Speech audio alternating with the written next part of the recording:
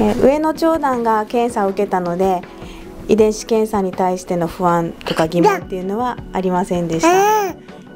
結構順調にいってるので妹もで遺伝妹も遺伝子検査協会にお願いしました。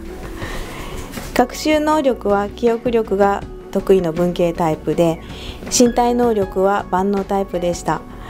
感性についてはストレスに弱いタイプでコツコツ積み重ねていくことが得意なタイプと言われました。感性については長男と全く違うのでとても驚きました。同じ兄弟でもこんなに違いがあるんですね。長男と同じように厳しく育てていたらと思うとゾーッとしました。早く分かっていたので、えー、手遅れにならなくてよかったと思います。長男は放っておいても自立していくように見えます。